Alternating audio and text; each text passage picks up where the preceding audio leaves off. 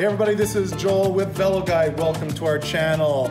I'm talking to you from Bucerias, Mexico, where we're giving away another $150 gift certificate to the bike-friendly business of your choice. And remember, on September 28th, that's the big draw. We're giving away a trip for two, airfare included, to beautiful Bucerias, Mexico. We're gonna come spend a week with us here and do some incredible cycling, discover some amazing culture, eat some interesting and fantastic food.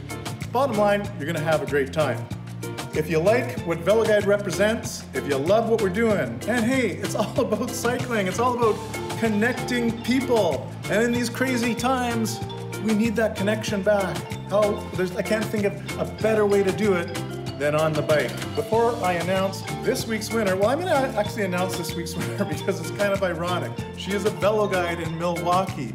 Kelly Lambeth, congratulations.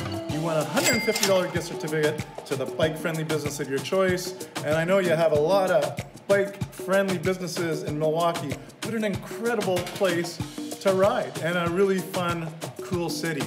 Are you thinking of a staycation uh, close by if you live in the US? Milwaukee's a great place to go. So watch this video, let us know what you think. Comment below and please hit that like button and the other thing you need to do is hit subscribe and tag the notification because on September 28th, we're giving away that trip to Mexico again. And the only way you're gonna be notified is by way of these videos.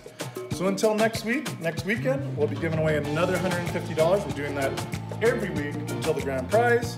And again, stay tuned for the 28th of September for the grand prize. My name is Kelly and I'm a Velo Guide here in Milwaukee, Wisconsin. So Milwaukee's great for cycling because you can get a little mix of everything.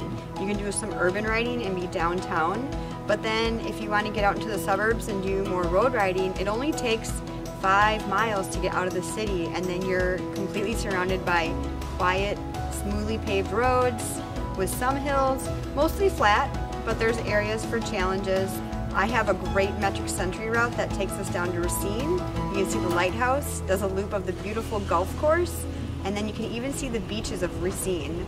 My favorite ride in Milwaukee is usually around 40 or 45 miles. Starts off with coffee, make a stop for um, a beer along the way, and then ending with a really good burger. One thing that I think is really cool about the entire Velo Guide project is it's really accessible and it can be customizable to your ability level, your taste, your time frame, and there's so many different locations around the world that if you're in town for a business trip and you want to get out on your bike, you can do it. I personally ride in Milwaukee year round.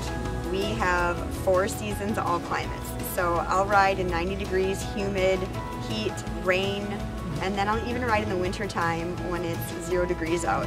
I'm really involved in the cycling community here in Milwaukee, especially riding with women. I'm very passionate about getting women out on their bikes and teaching them new skills, um, showing them rider etiquette, and I think being a Velo Guide will just give me more opportunity to do that. Hit that like button, subscribe to our channel, and toggle that little notification bell.